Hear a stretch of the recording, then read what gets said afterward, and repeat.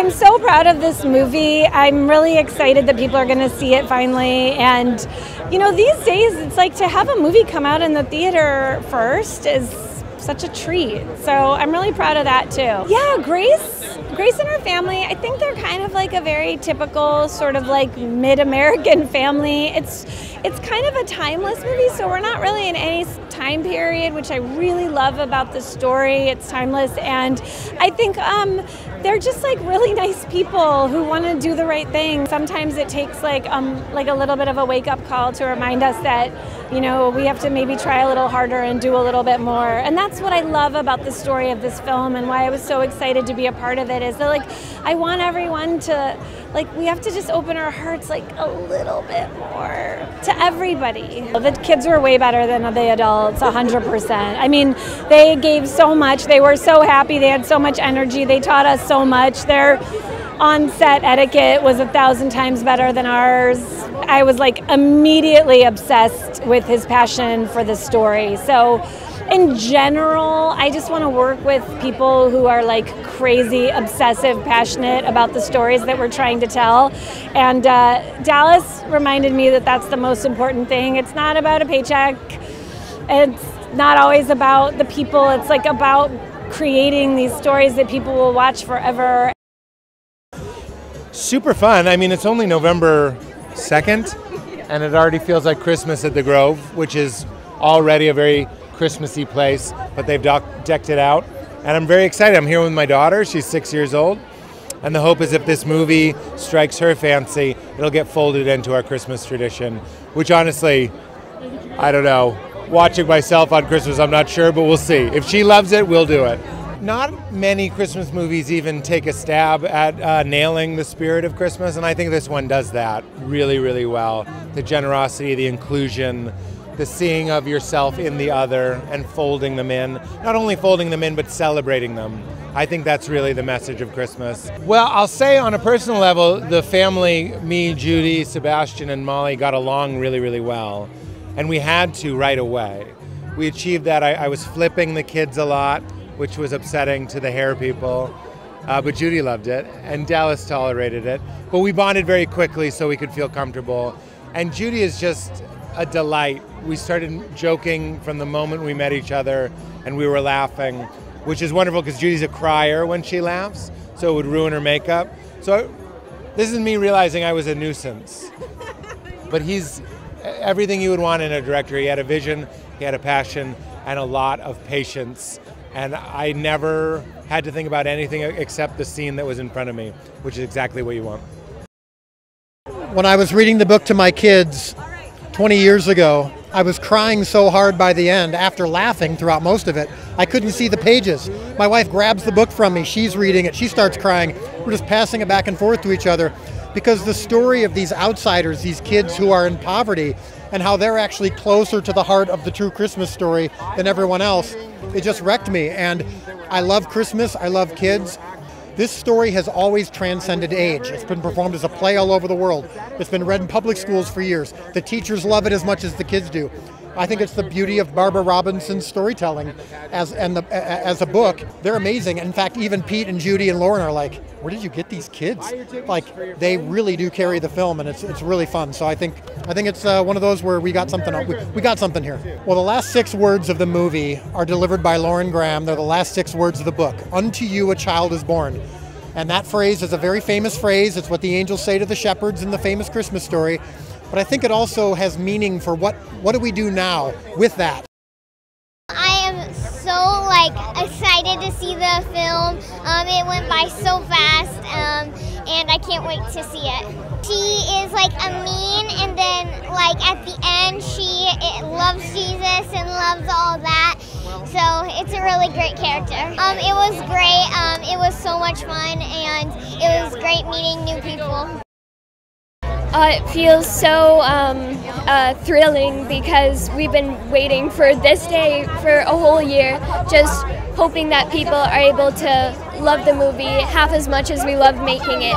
And I just feel so proud to be able to be here. I think audience are really going to love the sort of throwback feel of the whole thing. Like, it's a very simple story that really reaches out to a wide audience that just wants to bring people in and share the Christmas love. Dallas is an amazing director. It was really great to get to work with him because he was really open to be able to um, uh, interact with his actors and really work together to create a beautiful piece of art that he cared so much about and was so passionate about. Well, I'm just very, very excited just to even be here and to just be with everyone that I filmed with. It, it, it, it's just amazing. Well, I'm just honored to even just be here and we made such good connections. It was so amazing. Like we clicked as soon as we met each other and we've become lifelong friends and I think we will always be in contact. It feels so awesome and wonderful. I've been waiting for this point since we started filming the movie, and the people make it so much better. My character is very stuck up and mean, but she thinks she has the right point of view, but she doesn't. I think they're gonna love that it's not the same old Christmas movie, like the action-packed kind of things. I think it's that it's because it's really because it's really heartwarming and different. Everyone's so loving, and the movie is so heartwarming that when people watch it, I think they'll really start to understand the true meaning of Christmas. Everything just feels so special, and it's this time of year where everything already feels special, so it's just adding on to that.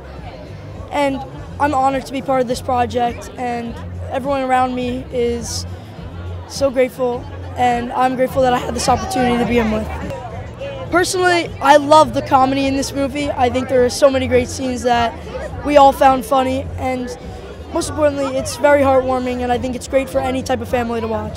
Amazing. We had nothing but camaraderie on set, and um, it truly was special to be able to film with these actors. And for many of us, it was our first time filming a major motion picture, so we all were experiencing stuff at the same time, so it was really fun. Well, Leroy Herdman has a very crazy snack obsession, and he's quite mischievous, and honestly, I think he'd do anything for a snack. Working with all of them was such a pleasure. They're all very nice kids, and we all just click like puzzle pieces. I think this makes it such a good holiday film because you don't have to be a young kid to watch it, you don't have to be an old person to watch it. Anyone can watch it. It's fun for everybody. It's so exciting. This is my first project and premiere at the same time, and it's so great seeing everyone again. And it's going to be so weird yet fun seeing myself on the big screen. But I'm honestly amazed I'm here. My character Ollie Herdman, from my he's like he's obsessed with her cat Spike. I bring him to school. I terrorize other kids with him. I've got an obsession with my jacket. I, I wear it a lot, and I can't wear it in public myself. But he's he's the second youngest. He's not exactly the scariest, but he's kind of in between, in my opinion. So much fun. We would hang out after filming, during filming, in between filming. It's it's still like I'm with them today, and it's still kind of funny. Actually, no, not kinda. It's funny. I'm so excited. I mean, it's uh, we got to see a sneak peek of it during Chosen Con. My husband and I were laughing and crying and laughing and crying throughout the entire thing. It's such a heartwarming story, but it's also so fun and funny. Um, so I'm excited for people to get to experience it. I think for the majority, you're laughing because it is just so charming and so funny. Um, and by the end of it, it's it's really touching, and it's this really beautiful reminder of of the humbleness of Jesus' birth. And um, yeah, I think I think it'll make people feel all the feels. From the youngest kids to the oldest, like it, they are so talented and so so funny, and um, yeah, it kind of it blows you away. You're like, these are really talented kids, and uh, yeah, I, I think people are going to be. It's, I feel like it's going to be a classic. I don't take it for granted. It's such a special thing to be able to experience that. But to be able to get together with all of the parents and and the cast and all of the kids, it we had so much fun on set. So every single one of them are fabulous and they own their parts. Like there is not one that is like doesn't stand out in their own set. Dallas is incredible. Like, at one point, he was managing like 350 cast members because of all the background, and that's not to mention the crew. But to have so many kids as leads and then so many kids as like secondary characters, he is unbelievable. We're all like in awe, and he jokes with them, and he's calm, and he never raises his voice, and he just knows his vision is very specific, and you can tell that in the movie. That was really the challenge because it's such a beloved and special book, and, and we had actually started this project several decades ago. It's been a long one, and so I actually had the chance to work with Barbara Robinson early, and uh, the real challenge was keeping the spirit of what she wrote, making the keeping the special elements special, but then also taking advantage of making it cinematic in some ways and, and carrying her spirit through a little bit and doing some things. So. Uh, I'm excited to say she had seen the first draft of the script and uh, had lots of good uh, words for us. I just think in the world today, which is so accustomed to drawing a line between us and them and villainizing the outsider, this is a story about the power of the outsider, about the power of love and community. I just can't think of a time, uh, especially with what we're facing right now, when we don't need that message in our hearts more than ever. I think that if the audience takes a second look at that person that maybe you were quick to judge, maybe you thought they're not like us, and realize we have something very powerful to learn from everybody. And maybe I need to hear their story, and that's going to enrich my own. I would love that to be in people's hearts as they leave the film. It's so incredibly rewarding to see everybody who put so much into this film. Um, to be able to work with Dallas, who was so inspired throughout the entire process by a book that he's loved for years and years and years, and just to get to be uh, back with some of our chosen cast, as well as welcoming uh, some huge talents to, to this cast. I love Christmas. I mean, that's the bottom line, right? So I was working on it in August, as it happens, but I had to bring Christmas into my year, and Christmas is just the best time of year. And Christmas is actually really funny. You know, the things that stand out to us over the years are the traditions and the moments that really were unusual in, in, amongst all those traditions. I think that the core of the film is about these kids crashing a town's traditions, and so many of us, so many of us have experienced that ourselves, felt like outsiders, or in a position to welcome insiders into the things that we've held sacred for, for years and years, maybe. And in this case, when the Herdmans come in, I think it becomes a, a heartwarming tale that we can see ourselves in both sides in oh, the kids are humongously talented. What an awesome feeling of, of discovery Dallas had while working with them every day and finding they could do new things that he didn't even imagine. Um, so our cast is incredible, obviously, and um, the kids are a huge part of it. I mean, it's been a while since we've had that feel good, um, evergreen Christmas classic. I feel like this is, it starts with the book. I mean, the book, The Best Christmas Pageant Ever, uh, started as a short story in McCall's Magazine in 1972 and then became this best selling little children's book that uh, my family reads. They're here today. This is so important for them. Uh, they read it every year, and uh, to be able to make it into a movie that families are going to love um, was a lot of pressure, first of all. But I think the movie elevates the book. I'm so happy with it because you laugh and you cry and you get the feels and you celebrate what the true meaning of Christmas is. This is incredible. I hope that families get to feel the same thing when they watch the movie. I think they will. They do such an incredible job, and so I'm just so proud of them. They really, uh, the sign of a really good cast and a really good film is when the last day of filming and we call wrap and they all start crying. They didn't want to leave. They didn't want to go home. And so uh, i love that family atmosphere that we had. It's really good. Yeah it's exciting. I mean it's it's kind of surreal uh, dallas jenkins our director had been chasing this book for plus 15 plus years. I mean it's something that had been a passion project for him.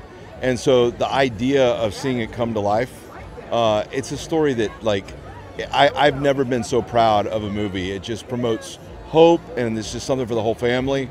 And I think right now people desperately need hope. So I think it's going to be timed really well for being something that can leave the whole family feeling good and ready to start the Christmas season early. It's one that taps into something that's universally relatable because I think when we talked to Dallas and we were talking about how do we want to kind of bring this story to life, he was like, I want to make a Christmas classic. And I'm like, well, what does that actually mean? And he said, I want it to feel like, you know, those old Norman Rockwell paintings that you, you would, if you were to be able to step into one of those. And it's like, those nostalgic childlike memories that don't have a, a date or time stamped on it. It's just how you remember how you felt waking up Christmas morning. This has that. And so I think for children, they'll love it because it's a funny family film. But for adults, it will kind of connect with a child and all of us. It's something that you're going to want to watch with your family over and over again, similar to movies like Elf. And so excited to see young and old enjoy it together.